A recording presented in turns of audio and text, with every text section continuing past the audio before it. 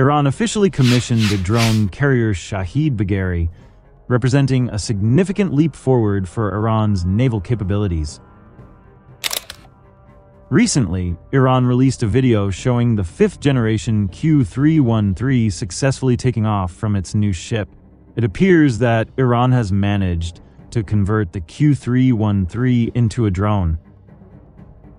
However, there are no complete specifications for the Q313 combat drone. The aircraft seems 10 times smaller than when the jet was first launched.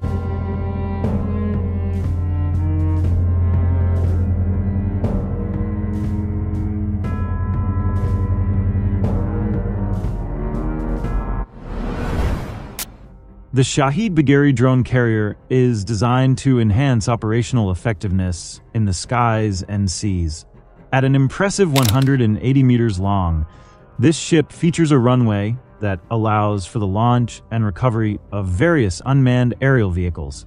This capability enables the IRGC to deploy multiple squadrons of combat and reconnaissance drones, which can be vital in offensive and defensive operations.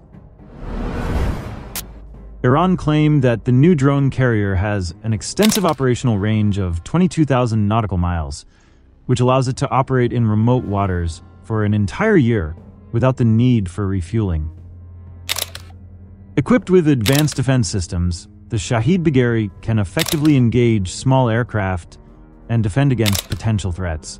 The carrier boasts short and medium-range air defense systems and sophisticated intelligence gathering equipment. This means that not only can it detect potential threats from the air, but it can also coordinate complex missions involving aerial and naval operations. The vessel has facilities to operate guided subsurface vessels, it is armed with long-range surface-to-surface cannons and cruise missiles.